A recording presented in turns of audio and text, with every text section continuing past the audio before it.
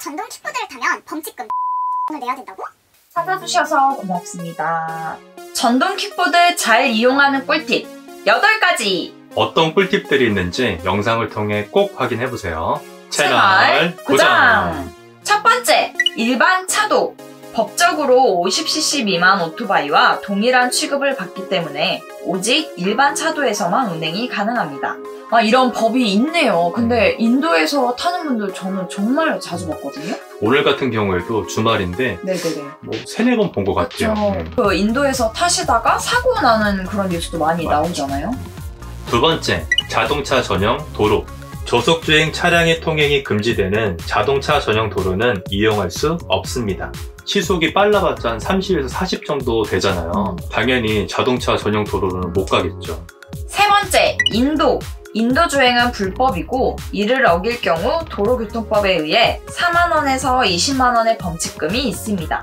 근데 네. 경찰분들이 잡는 건가?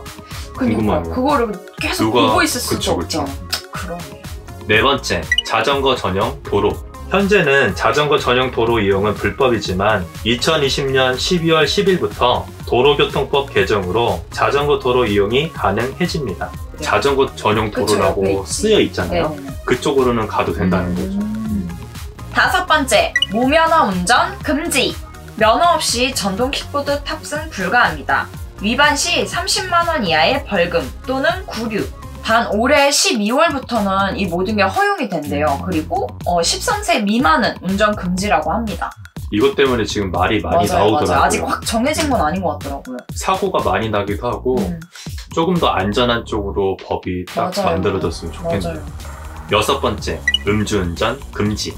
누구든 술에 취한 상태에서 운전은 안 됩니다. 단순 음주의 경우 5년 이하의 징역이나 2천만 원 이하의 벌금이 있습니다. 킥보드를 타더라도 술을 먹으면 절대 안 된다는 거죠. 음, 그쵸. 당연히. 음주운전이니까. 네, 이것도 어쨌든 운전하는 거잖아요. 그렇죠. 그러니까 진짜 술 드시고 하면은 위험할 것 같아요. 나도 위험하고 주변 사람도 위험하고.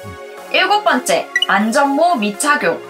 전동 킥보드 운행 시 반드시 안전장구 착용을 해야 합니다. 위반 시 범칙금 2만 원입니다. 지금까지 저는 네. 킥보드 타시는 분들 중에 헬멧 쓰는 맞아, 사람은 맞아. 한 번도 못 봤어요. 한 열에 한 분 어, 정도 저는 한. 번도 못 봤어요. 맞아 맞아. 그러니까 그 뭐지 요즘에 배달 하시는 분들 많잖아요. 그걸로 그런 분들은 쓰는 거 봤는데 음, 맞아 맞아요. 일반 분들은 거의 그냥 타시는 것 같아요. 솔직히 말해서 음. 저 같아도 음. 헬멧 안 쓸 것 같아요. 근데 꼭 써셔야 돼요. 음. 여덟 번째, 보행자 전용도로 통행 위반. 전동 킥보드의 보도 주행은 절대 금지입니다. 위반 시 범칙금 4만 원. 인도로 가면 네. 당연히 뭐 나도 위험하겠지만 그 길을 걷는 사람들이 음, 위험하죠. 위험에 빠지죠. 속도가 굉장하잖아요. 음. 3, 40이라고 해도 부딪히면은 당연히 그럼요, 사고가 그럼요. 나니까.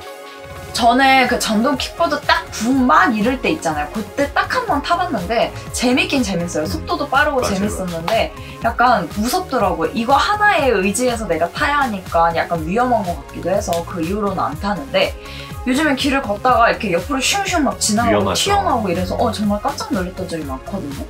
타시더라도 정말 안전하게 장구 다 착용하시고 타셨으면 좋겠어요.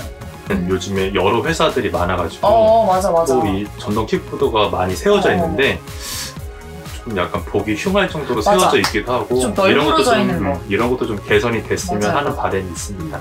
요즘 전동 킥보드에 대해서 뉴스도 많이 나오고 이슈화가 많이 돼서 저희도 영상을 준비해봤는데 여러분들 어, 공감이 되셨는지 모르겠네요. 다음 시간에도 이렇게 유익한 정보를 가지고 찾아오겠습니다. 더 많은 영상을 계속 보고 싶다면 구독, 좋아요, 알람 알람 꼭 잊지 마세요. 지금까지 시청해주셔서 고맙습니다.